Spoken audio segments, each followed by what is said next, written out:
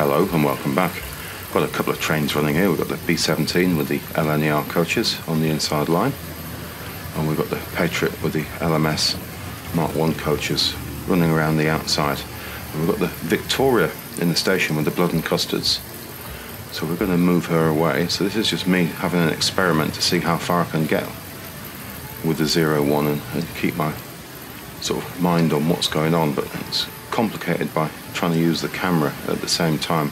So we're going to open that crossover at some point, but it's just trying to follow things around and get the timing right and remembering which controller's doing what at the moment with in terms of controlling the locomotives. Slight pause there with the uh, Patriot on the diamond crossing. I've been using the handheld gives a bit more flexibility to the running, being able to move around the railway a little bit. So we're going to throw the points and just got to choose my moment carefully. Otherwise we'll derail the LNER coaches. You can hear the click there. And then we'll chase the B-17 onto the inside line. Now I do close those. I don't know whether you can hear the click. So we're not going to have a derailment. So we've got the Princess Victoria and the B-17 on the same line. I'm trying to get back far enough back to get the tail end of that train in for you. Victoria keeps wanting to tear away. She's a, a little bit more sort of uh, enthusiastic. She's not as smooth on the controls as the other two models. Making a tremendous sound now. There's those LMS coaches. They've got a slight pinkiness to them when you get them in the light.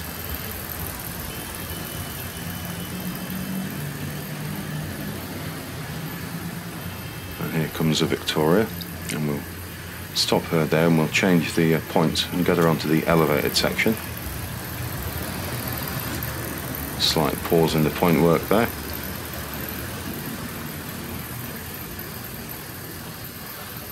And then we should uh, remember to close those so the B-17 doesn't run straight into the back of the blood and custards. Storming around there and then let's see if we can get the Victoria to move off. And up the uh, incline she goes, making quite light work of those coaches.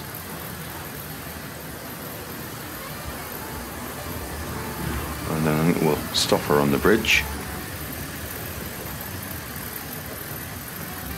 Patriot going under the girder bridge, B-17 coming in from the left.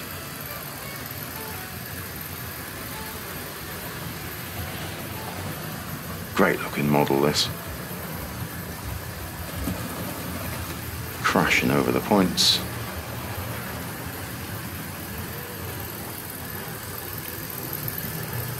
Patriot coming around now.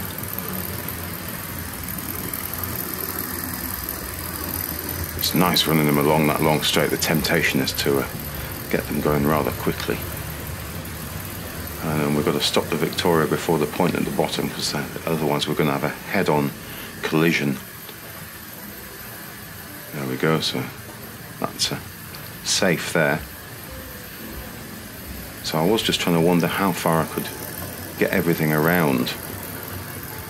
But uh, we'll see where we get to.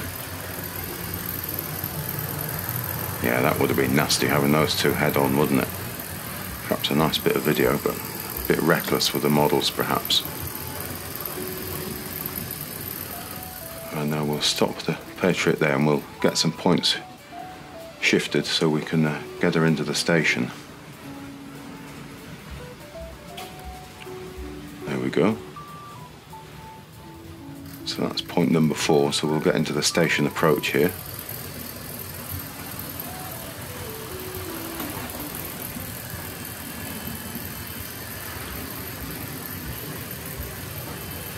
Through the curved point and over the diamond. But then it's definitely struggling there. So one point too many at that speed, perhaps. So there's still power in it. It's just not quite enough to, to make it run across that point. I think it was definitely losing contact with the track there at some point, I think, perhaps. Into the station.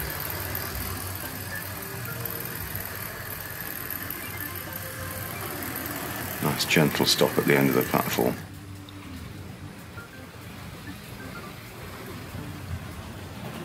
And here comes the B-17. And we'll bring her to a stop just before the crossover onto the uh, station approach.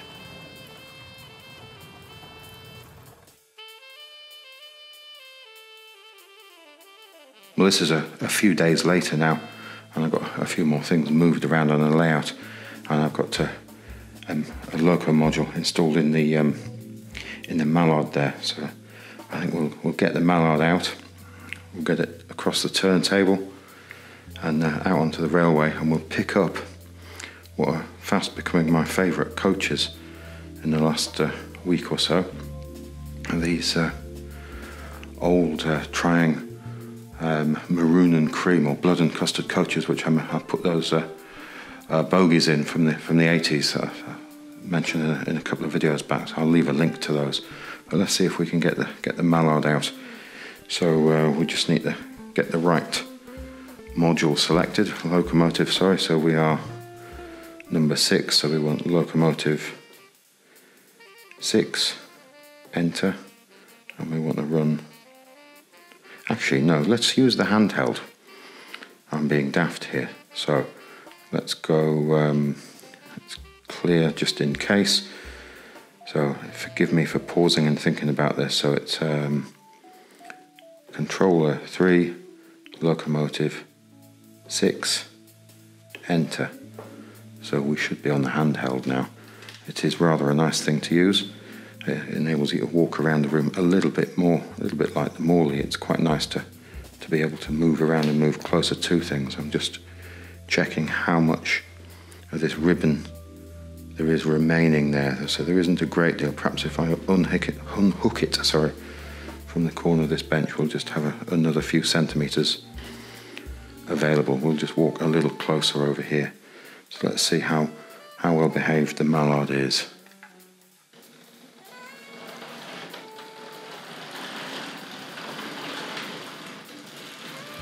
Little bit jittery.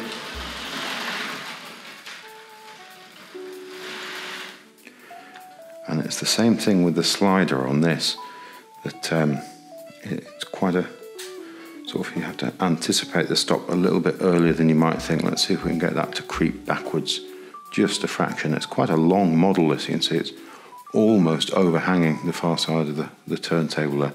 Let's see if I can inch that back. I think that's probably enough.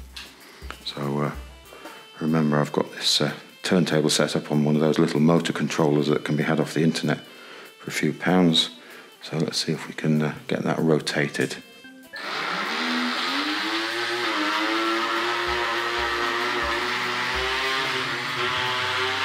getting a little bit closer to the model and have a look.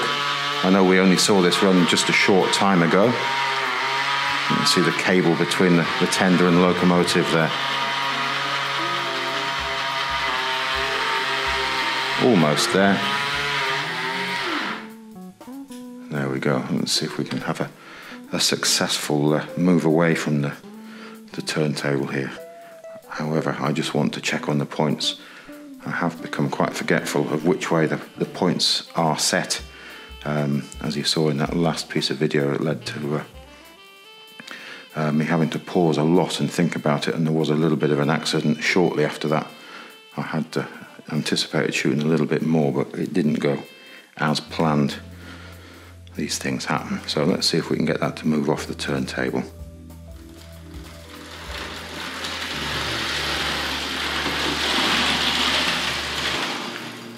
And there we go, out onto the main line.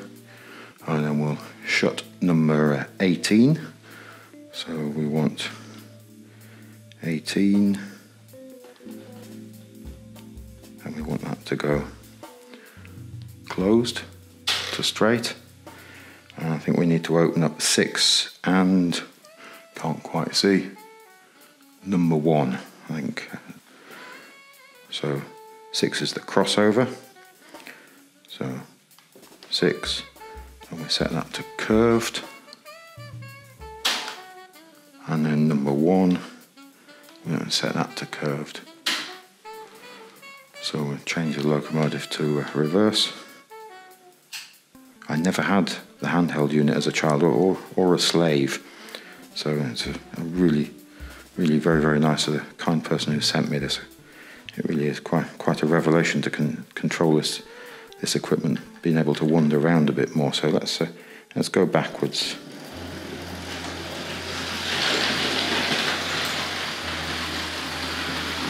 Stop just before the bridge, I think.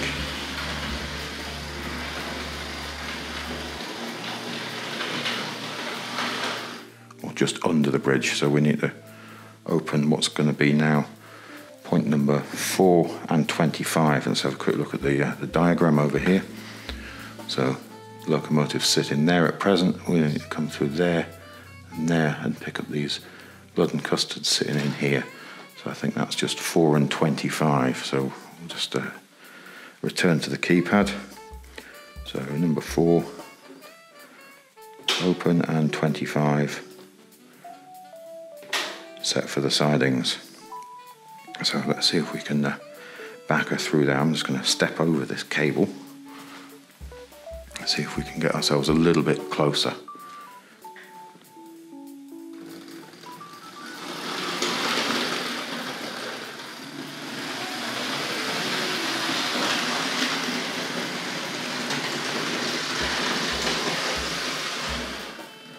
Slow that down. That was quite an abrupt change. We're down an absolute crawl. Let's see if we can hook that up. I think we just got that. So I'm just going to have a, a, peer over the camera here. Yeah, I think we've got that. So let's uh, let's change for forward. So it is all just playing with trains. I, I, I keep saying I'm having fun with this. It's uh, it's been far more rewarding than when I was a child, but. Uh, it definitely isn't smooth running, but uh, understanding why now is uh, probably easier to take on board. So let's uh, roll forward now.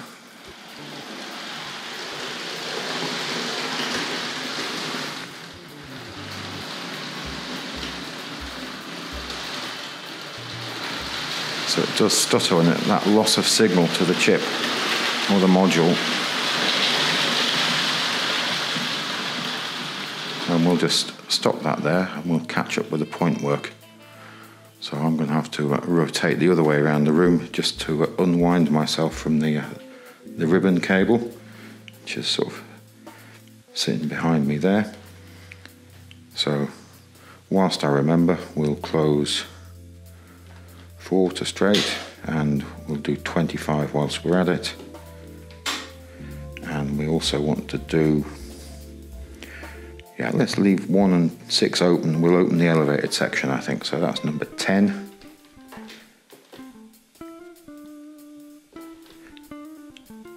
So we're not, we're not getting the point throwing there.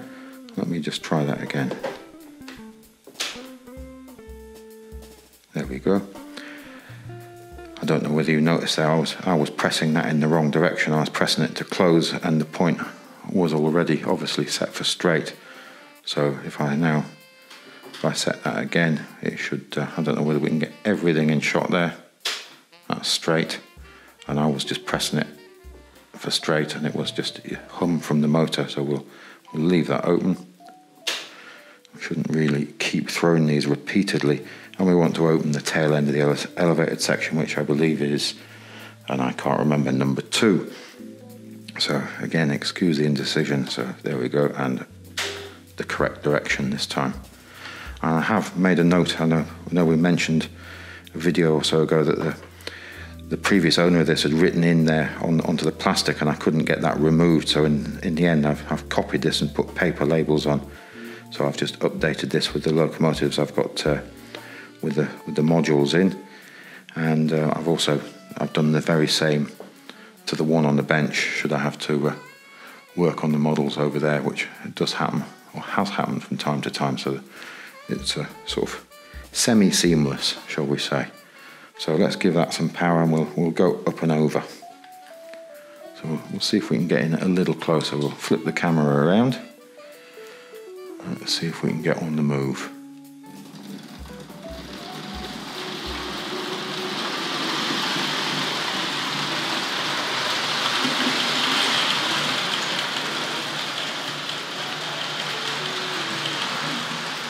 Think I mentioned before, they don't have quite as much pulling power on these modules as they do running off the traditional controller, but not having too many issues with that. Lovely looking model. And I'm going to bring this up to the top here and bring it to a stop. Again, it takes ages to stop. And for another reason is I, I do need to unwind myself from this uh, ribbon cable again, otherwise I'm going to trip over. So obviously, I think if you were using this without making video, you wouldn't have to keep turning around because you would naturally probably just keep uh, unwinding yourself. But with the camera, it becomes an issue. So let's give that a little power and we'll, we'll drop down.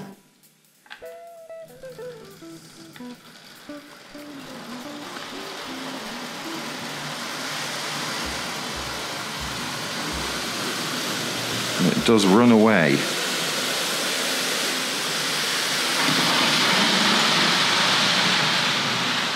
doesn't have that same held back feeling that you get from the Morley controller.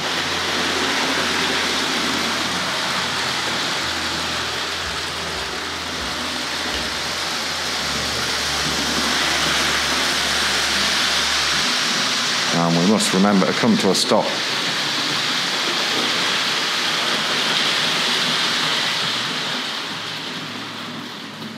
See if we can bring that down to a crawl just before the point there hear that creaking away.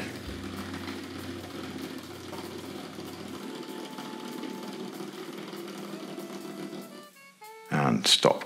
So again, I'm going to unwind myself from the ribbon cable. So, so this is becoming a bit of a dance, this. So, and then we'll, we'll attend to the points now.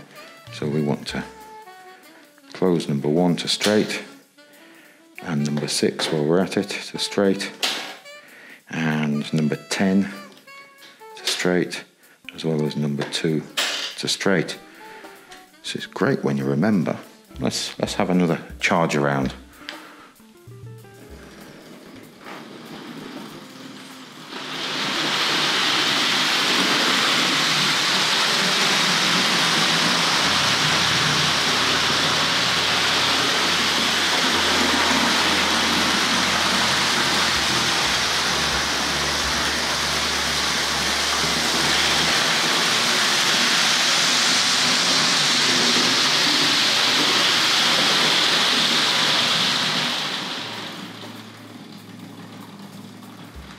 Yeah, there's a point in the slider where the power comes away really, really rapidly, and then you're down to the crawl.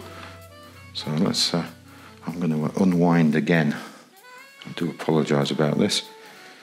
So the the uh, the the trailing leads on the on the Morley controller, I think they're five meters, but you, you still end up getting them tied up around your feet. Let's see if we can get a little bit more of a crawl off this if I swing this camera around again, we'll, we'll get in tight and we'll have a, have a look. Beginning to get quite heavy in the hand here. So that's about there on the controller. We'll give it a little bit more.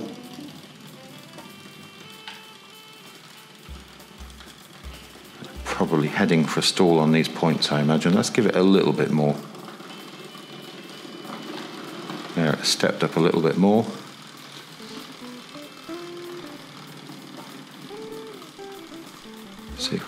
Tender all the way over. That's pretty good. Let's give that a, I'll give that a little bit more. And a little bit more.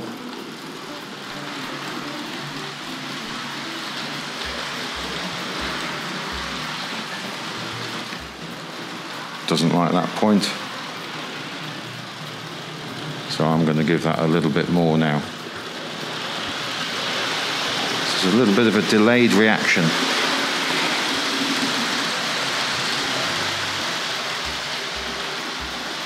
see what sort of stutter I get out of that.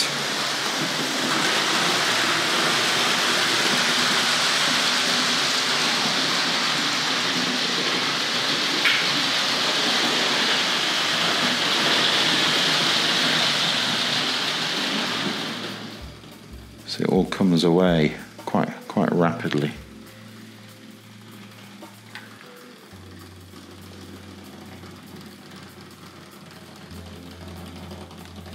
And we'll stop that there. Let's let's give it a go backwards. See how that valve gear does.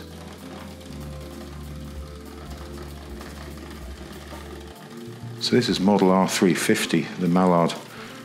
My version came along from 79. It's got a, a, paint, not sorry, it hasn't got a paint finish. Sorry, the the model 309 I think came along in 1980 had a painted finish. I think uh, mine is just self-coloured plastic with the bands and the, the black paintwork. I think. We go. Again, we, I think we had a good look at it in a in a video a little bit earlier. Let's see if we can just stop that there, and you, you can see the wiring between the two. I'll put a couple of insert pictures in there. You can see the, how the module has been attached or uh, hooked up. So it's all fairly basic stuff. I think if we uh, right this camera now, put it the other way around, before I drop it, it gets really heavy and we'll put the controller down. We'll just have a quick glance at the uh, 82 catalogue, at the uh, the extra bits in the, in the system which will be coming available. It's be tragic to drop that. I need to get a hook for that. So uh, I think I mentioned earlier it's quite difficult without the um, the lever frame switches to see which way we've got the points um, set. Although I can't uh, hand on heart say I always remembered which way the points were even when looking, but uh, it was a great deal easier. Let me see if we can find the uh, the zero one equipment in here. Here we go. There's quite a lot devoted to it in the uh, 82 catalogue. Let's just have a quick glance at the, uh, the cover there. Let's see if we can get that without glare.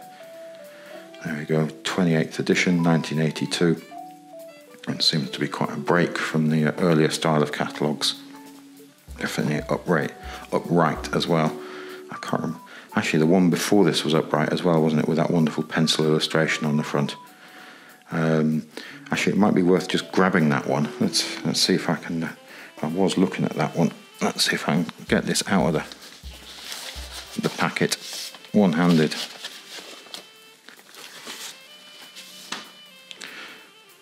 Terribly planned. So the the control unit, which was brought along for controlling the point work, or the for displaying the point work. The, uh, let's see if we can get this. I really should have marked this and I haven't. Excuse me while we just flick through here, see if we can find. No, I thought it was at the back. Might have to cut away from this and come back. Let's give it one more go. There's the price list. We will find 01 in a second. Here we go. There's a 01 equipment there. So phase 1, phase 2 for the accessory controls, but phase 3 announced here. So the, uh, the micromimic display system, available Autumn 81, but they picture it like this as a like a plug-in unit which would have gone alongside the master unit. But I think what, what eventually arrived was this type of unit which sits on top of the master unit in place where the lever frame switches would have gone here.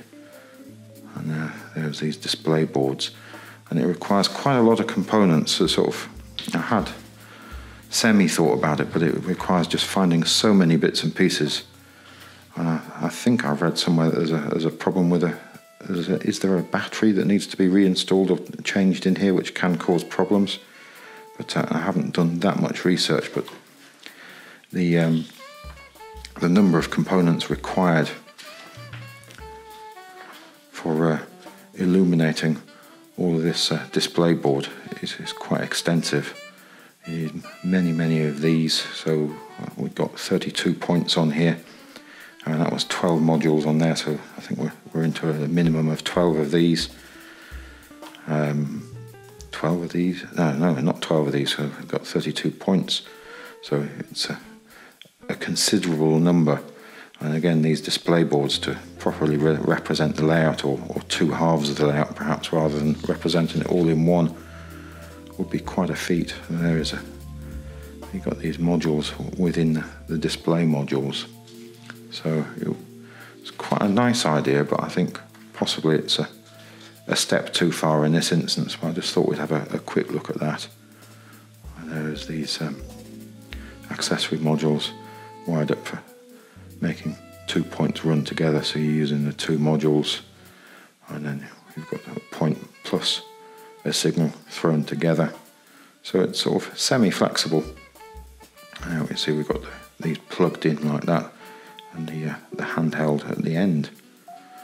And there is one of the modules, R955. I think this is the later variant. Um, there was a version earlier which just had one of these items on it I believe was uh, slightly more problematic. I have had a couple of them, and I think one of them has definitely stopped working, and I've replaced it with one of those. So, um, yeah. But again, thanks again for watching. It's um, hugely appreciated. So it is time to get the uh, the locomotive on the move again. Let's let's give it a bit more power, and we'll uh, go once round.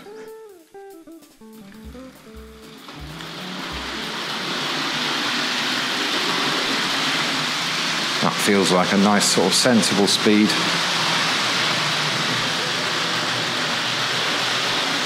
Into that curve again, past the signal box. Let's see if we can get above it.